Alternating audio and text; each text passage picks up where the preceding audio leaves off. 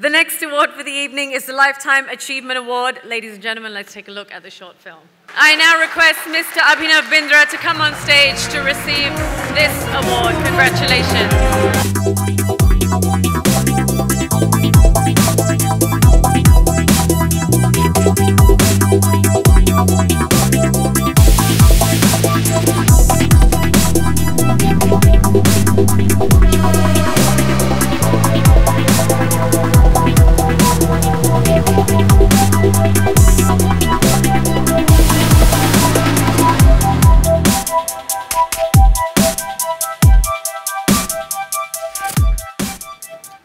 Well, good evening, everybody. Um, at age 34, it does feel a little bit odd to receive an award for lifetime achievement. Uh, but nevertheless, um, my journey was an interesting one. It was a very fulfilling one. It started as a 12 year old boy.